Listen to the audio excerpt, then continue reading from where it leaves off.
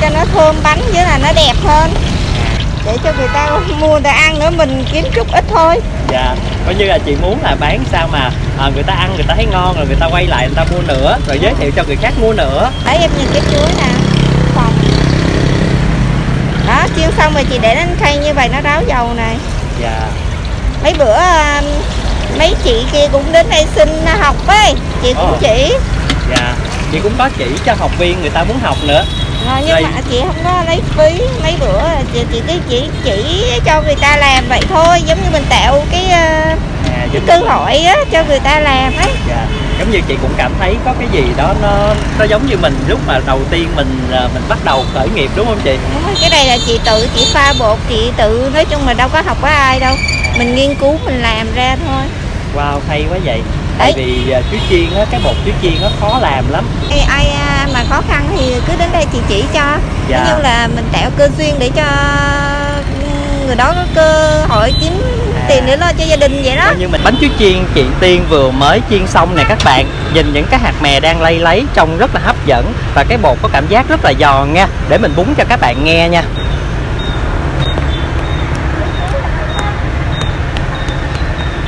Rồi bây giờ mình sẽ bẻ ra bên trong xem xem à, Dưới bên cái lớp bột giòn này là à, như thế nào nha. Mời quý cô bác anh chị dùng chuối chiên của chị Tiên nha. Uhm. Rồi Chị Tiên chiên trái chuối này rất là đặc biệt và lạ. Xin mời quý cô bác anh chị dành chút ít thời gian cùng với Châu Bò Review đi đến quán để xem coi chị làm ra trái chuối này là như thế nào nha. Mời quý cô bác anh chị nha.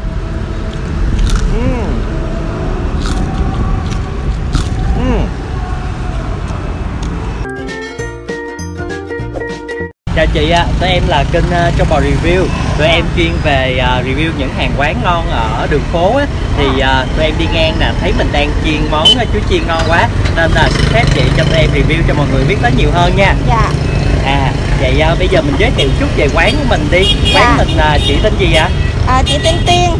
À, chị Tiên ạ. Dạ. À, chị Tiên bán uh, chuối chiên ở khu này là gọi là chỗ nào để mọi người dễ tìm ạ? nhà thờ Trung Nghĩa Nguyễn Ái Quốc ngay chỗ nhà thờ Trung Nghĩa nè đường Nguyễn Ái Quốc nè Dạ, đường Nguyễn Ái Quốc Nên là cũng ngay mặt tiền đường luôn Dễ À. tìm cực kỳ Mình bán từ mấy giờ tới mấy giờ ạ? 3 giờ đến 6 giờ À, 3 giờ tới 6 giờ là buổi chiều thôi đó Dạ. Rồi cái chuối chiên của mình á Là chị bán là bao nhiêu một trái vậy? 5 ngàn à em À, có 5 ngàn một trái thôi Chị ờ, Tiên bán là được lâu chưa vậy? Chắc được 2 năm à. Wow, 2 năm rồi, 2 năm là cả một cái thời gian Phải nói là cũng nhiều chuyện xảy ra lắm đó. Dạ. Bắt đầu là từ công đoạn như thế nào vậy chị? thì à, mình ép chuối. À, à, mình bột sẵn ở nhà rồi. Xong rồi chị ra đây chị ép chuối rồi cho vào chiên thôi. À mình cũng sắp xếp hết có tủ này kia hết. Rồi mình chiên bằng à, bếp bếp ga luôn. Dạ. Nói chung là chiên thì nó nóng mà, hả? Nó mệt còn à, mấy cái kia thì nó không có à, gì hết. Chỉ có mỗi là trời nắng nóng hay là gì á mình đứng mình chiên nó mệt. Với lại mưa gió. Sợ là như vậy thôi.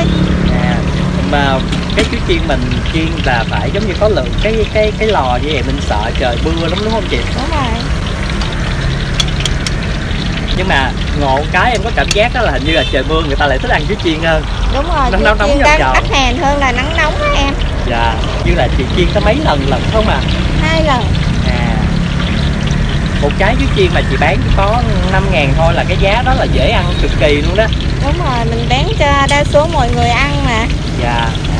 Ở chỗ khác thì bán 6 ngàn 7 ngàn nhưng mà mình mình ở đây mình bột tự pha hết thì mình chỉ bán rẻ vậy thôi. Dạ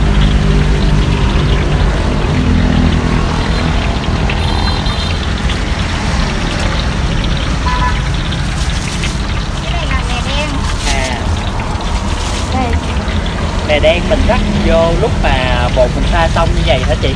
Đúng rồi em. Cái mè đen nó công dụng của nó là như thế nào vậy?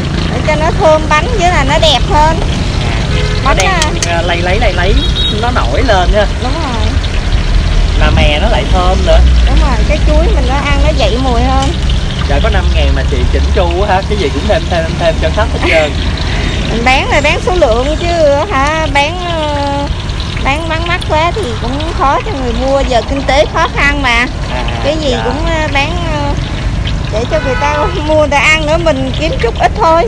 Dạ coi như là chị muốn là bán sao mà à, người ta ăn người ta thấy ngon rồi người ta quay lại người ta mua nữa rồi giới thiệu cho người khác mua nữa. Đúng rồi xong rồi kinh châu bò quay lại đây cũng mua cũng ờ, giới thiệu cho chị nhiều người lại mua luôn.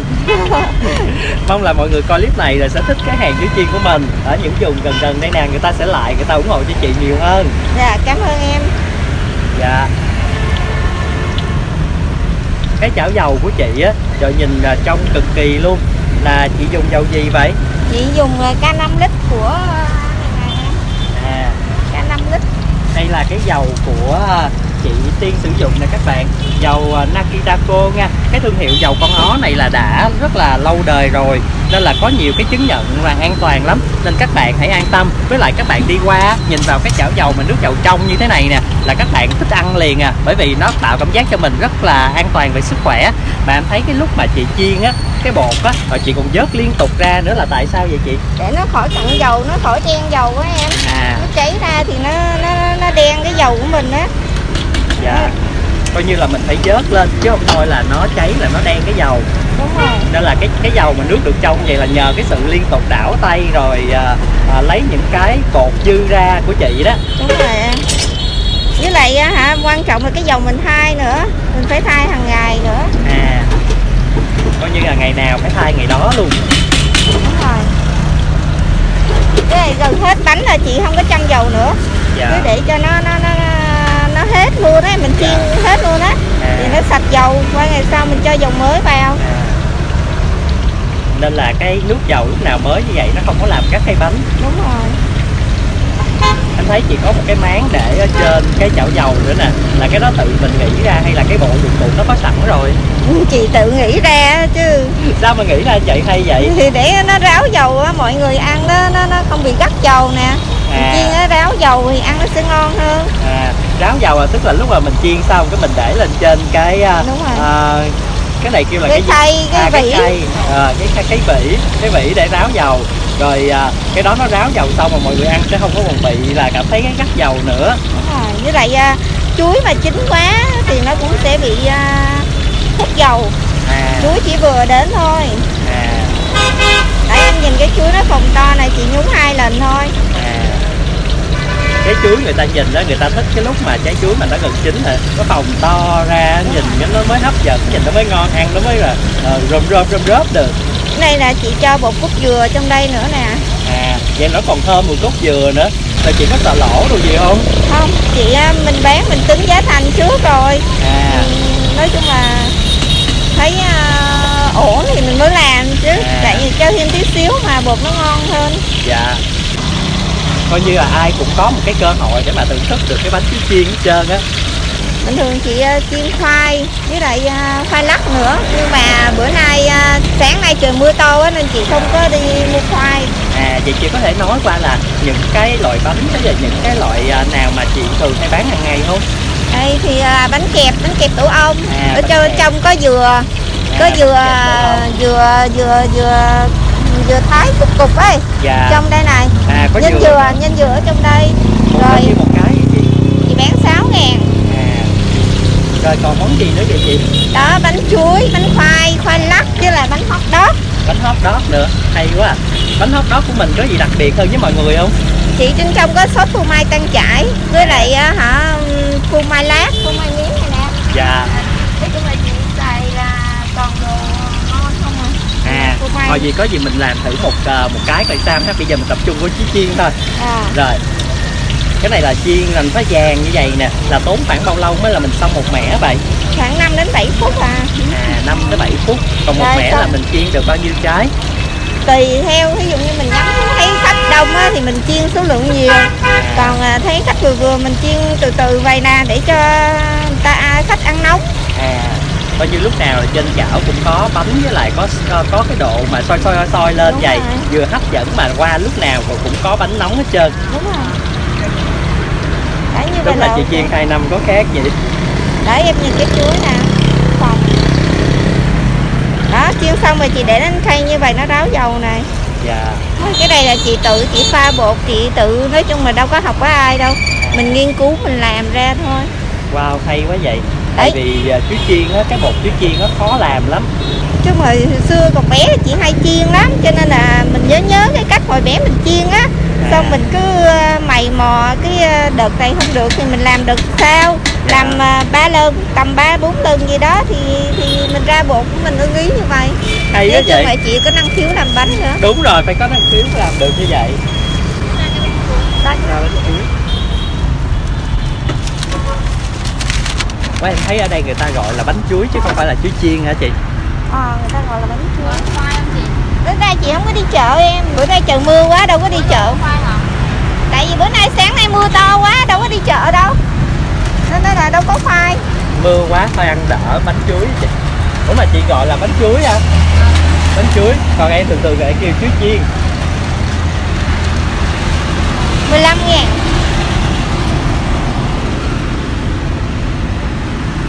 chị này chắc khách quen không chị.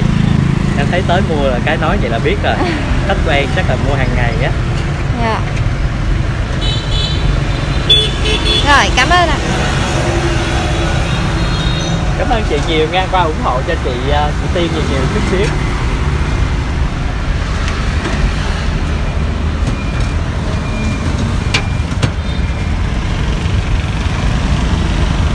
Cái chuối chiên á là mình ờ, để chiên một trái chuối á hoặc là một cái món ăn nào á ngay từ cái khâu mà chuẩn bị nguyên liệu á đã khó rồi thì ờ, với món chuối chiên thì bắt chắc bắt buộc phải là trái chuối rồi thì trái chuối chuẩn bị nó có khó không vậy ờ, chị tiên? Thì chị cứ đi mua ra ngoài mua á, xong rồi chuối thì chỉ canh vừa vừa chín tới thôi nó chín quá thì sẽ hút dầu mà chưa chín đủ cái độ của nó thì nó cũng bị không có phòng to bánh được á. Wow. Phải mất bao lâu á chị mới canh được cái độ chín của trái chuối Mình làm riết mình quen tay rồi mình nhìn là mình biết rồi. Em thấy hình như là cái màu ở ngoài trái chuối nó cũng phải có đen đen chút xíu là nó mới chiên được phải không? Không tại vì á hả đây như là trái chuối như vậy là vừa nè. Cái chuối mà À, mình trái chuối mà đẹp như vậy nè à, mềm à, mềm là vừa đó. đấy. Dạ. cái chuối nào mà em bẻ đầu ra em thấy nó nó nó bẻ đầu được là chiên được. À. Cô. À ăn đi cô mua đi cô mua ủng hộ cô ơi. Ngày nào cô cũng thôi hay cô hay mua khách mối mà. Ủa làm sao Dạ. là mọi người đứng ở hình là sao mà? Dạ tụi con quay để cho mọi người biết tới quán của chị tiên nhiều hơn. À, đi đường đi. giống như đường phố á. Dạ. Một trái là mình lại cắt ra hả chị tiên? Đúng rồi cách làm đôi. À. Thấy còn cắt ra làm đôi rồi còn cắt ra làm tư nữa. Ví dụ như cái miếng nào bự quá thì chị cắt làm tư. Đó bánh hot đó có cô. bữa nay cô ấy đó ăn gì đấy á cái này bao nhiêu cái vậy hả dạ. Điều hot đó bao nhiêu cái vậy chị? À bánh hot đó à hot đó của mình là có cái máy nè. Rồi trước khi mình làm là chị à, phải quét một lớp dầu phải không ta? Hay là lớp Bắp gì vậy? em. Lớp bơ. Bơ tường an á. Bơ tường an dạ. Cái bột cái bột này chị cũng chuẩn bị luôn hả chị? Ờ chị tự làm chị tự đánh đấy hay vậy cái nguyên liệu chính của cái bánh hot đó cái bột đó là gì vậy chị? Sữa với lại bột mì trứng. À. rồi mình phải đánh lên nhiều không? Đánh à, đánh cho nó bông lên. À cái Cái này là này phô là- mai tan chảy này nhé. Wow cái món này là khoái lắm nè. Ba cái phô mai. Ba cái luôn. Thôi chị làm bốn cái luôn đi. Hồi nữa tụi ăn em ăn luôn. Ừ. bốn cái hai kia là hai vị khác nhau chị làm cho nó đẹp luôn. Ý là cái này là bốc cái cái này là phô mai phô mai lát cô mai lát nó màu nó đậm hơn. Đúng rồi. Ủa sao một cái bánh mà lại có nhiều loại phô mai quá vậy? Tại vì à, khách thích ăn à, phô mai nào thì chị làm phô mai đấy. Wow hay vậy. Cơ mỗi một cái phô mai nó có một cái mùi riêng đó. Phô mai ra này là phô mai tan chảy phô À. mai này là phô mai lát nè. Phô mai lát phô mai tan chảy mình cắt ra mình bỏ vô ở giữa làm cái nhân cái phô mai này nó tạo cái vị gì cho cái bánh hot dog vậy? Nó ngon hơn em. Ngon là ngon sao vậy? Mùi vị hay là béo hay là thơm á? Ừ, nói chung là nó béo. Nó béo à, với lại nó tan chảy à, người ta bẻ ra một cái vậy thành cái phô mai tan chảy á. À thì ra là cái miếng phô mai lát á là là cái phô mai tan chảy là cái này. Cái này cái này là chị tự làm. à cái chỗ khác thì người ta lại lấy là phô mai lát thôi còn của chị là có thêm phô mai tan chảy nữa. Ờ cái này chị làm thập cẩm nha. Cái cái À. cái, cái bên đây là làm thập cẩm nha. Thập cẩm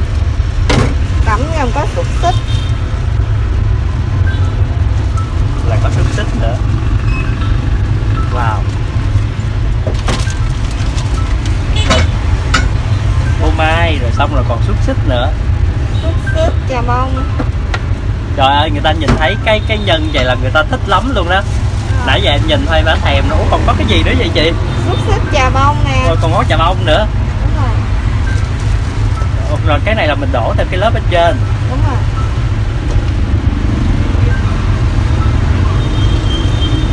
À cái lớp ở trên này giống như là kẹp ở giữa cái nhân ở trong đó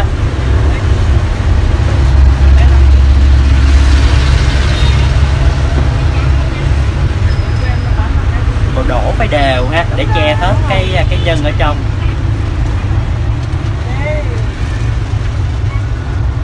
Em thấy có bộ chị thích làm bánh lắm ha đủ loại bánh hết trơn á. Chung chị có năng khiếu làm bánh. Dạ. Bánh gì chị làm cũng được hết. Hết chuối à hết hả? chuối thì bánh kẹp còn một cái à. Lấy một một cái nha em lấy một cái cho tôi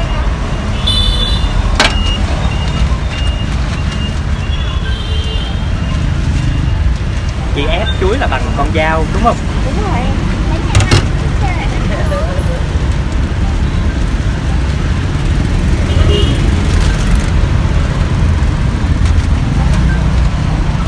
phải có cái bọc ni lông đó để giống như nó tạo cái khuôn cái hình cho trái chuối cho nó đẹp đó. Đúng rồi. Trời mà chị vừa làm cái có ờ, bé phụ. Bé nó được nghỉ hè nó ra nó phụ giỏi quá con mấy tuổi rồi vậy 10 tuổi phụ mẹ hả? Trời ơi. Rồi con tên gì vậy? Có cái phượng. À phượng. Có bé phượng phụ chị cũng vui. Thôi kệ hè ra đây phụ mẹ đồ gì luôn. Rồi xong mình để cái máy như vậy á là để bao lâu là ra được một cái bánh hot dog vậy? Là ba phút. À ba phút à,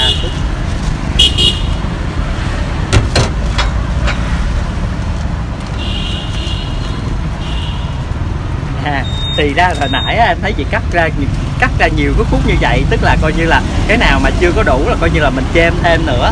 Đúng rồi.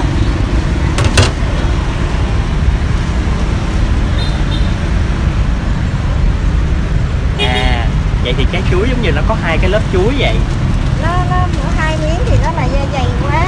À. Cho nên là xóa trời thơm nghi ngút luôn cho chị này. Rồi. Chiên thường thường bột cái chiên là à, bột mì với lại bột gạo trộn chung lại phải không chị? Đúng rồi bột mì bột gạo với à, đường. Dạ. Có người người ta cho thêm một chút ờ, muối hoặc là đường người ta lấy đường phèn á. Cái ờ, nó nó có mùi hơn. Còn chị là chỉ là đường cát trắng thôi hay sao cát à? trắng thôi em ơi.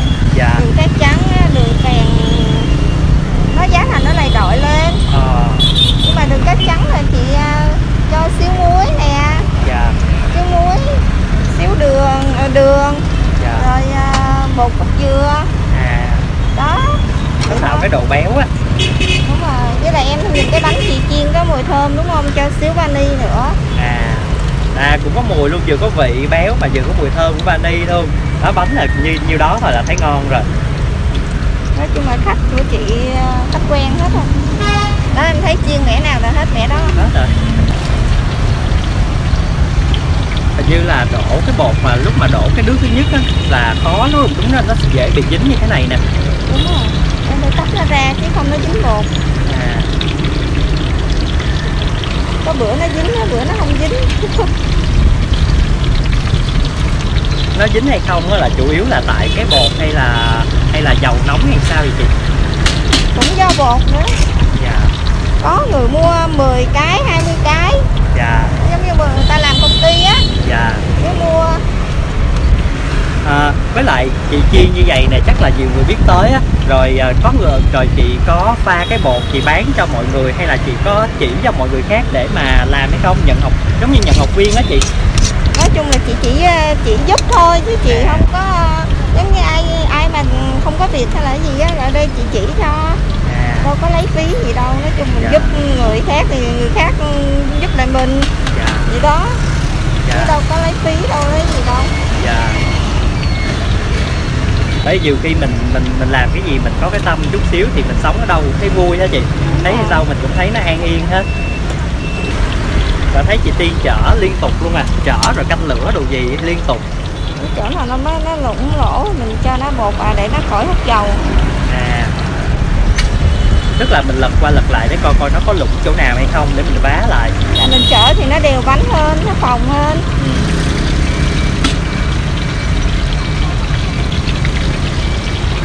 rồi chẳng những vậy cái lúc này rồi còn phải vớt cái bột dư ra nữa. Để nó khỏi làm cặn dầu á em. Ờ, có nhiều người à, dễ thương lắm. Đó, ui cái chầu dầu trong thế. Ờ, hả ờ, nhìn cái chảo dầu là muốn ăn là tính là không ăn nhưng mà ta đi ngang á ta Dạ. chạy ngang ta thấy cái chảo dầu như vậy nè thế là quay lại mua. Có nhiều khi cái lời nói thôi mà mình cũng làm cũng cho mình cũng mát lòng mát dạ nữa.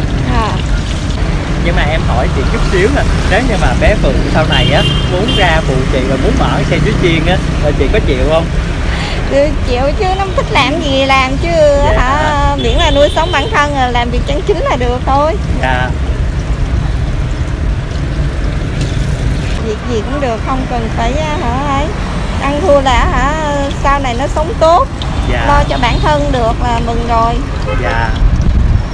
Em cũng mong bé nó bé nó ngoan. Nó làm cái gì cũng thành công hết trơn nữa. Cho dù sau này mở ra xe chuối chiên hay cũng nhớ cũng nhớ mẹ dạy sao làm sao làm sao rồi có mở ra xe chuối chiên rồi coi như cũng thành công dữ dội hơn nữa. Mở luôn chuỗi chuối chiên chị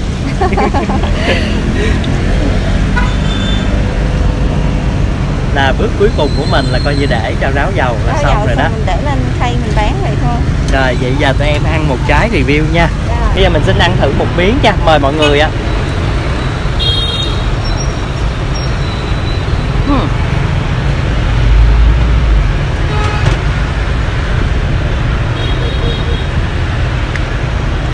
cái mùi chuối nó bốc lên mũi rất là đậm. Trái chuối chiên của chị nó rất là ngọt vị chuối. Còn bột thì giòn. Và giòn này là mình nghĩ chắc là giòn sẽ rất là lâu đây tại vì nó giòn rơm rớp à ăn cảm giác cảm giác rất là đã miệng các bạn. Ừm.